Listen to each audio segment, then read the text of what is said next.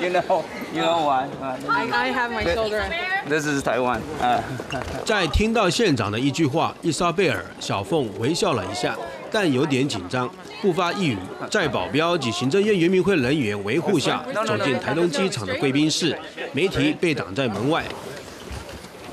伊莎贝尔去年十一月，在他被虐待的消息经美国有线电视新闻网新烟烟披露之后，消息传回台湾，受到高度关注。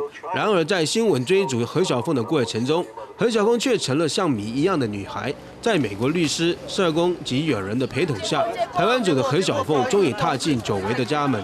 不好意思，不好意思，一个保险金就好，一个保险。何小妹回到台东大武的老家，是要参加妹妹何小英在过年举行的婚礼。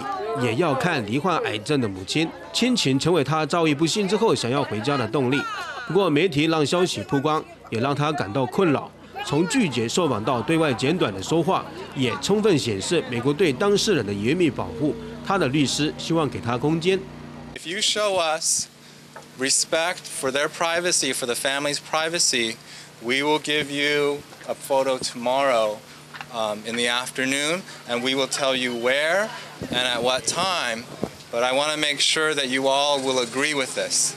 由于媒体长时间守候，不厌离弃，到下午两点多，再有律师沟通，让何小凤和妈妈一起出来接受媒体的访问，腼腆的脸多少有一些紧张。 If you guys just be help like this couple day, I just don't want to be spend more of my family, and then I know everybody do you guys job and then and then you guys so helpful. I really appreciate it. You know, I'm here. I really thank you everything.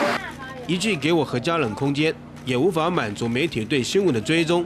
在这一场新闻的追逐，场面的脱序及拥挤，安排行程的行政院原民会也成了重视之地。为什么需要这样的阵仗啊？其实也是一个，因为因为是一个大任务啊。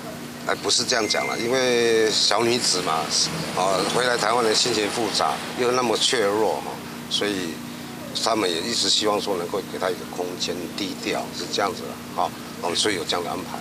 十九号的上午，大武乡就大武国小的永竹突然聚集了许多原住民族人和各家媒体，在何小凤妹妹何小英的家前，何小凤的亲人纷纷谈论小凤的往事。哎，我还是很紧张呢。高高兴回来啊，拍报啊，他已经多年没有看到这个人，真的是很高兴啊！看到他都掉眼泪了，刚才在房间呢。跟何小凤同年龄、小时候一起成长的堂哥也说了陈年往事。之前都小时候都是在一起玩啊，对啊，所以所以多少还是印象很深刻。因为后来去哪里我们也都不知道啊。人间蒸发。对啊。我们也不知道。何小凤回到台湾，也让原本宁静的永久屋社区涌入大量媒体。二十号，何小凤将和家人在前往父亲的坟前祭拜。记者何兆飞啊，福禄台东大武采访报道。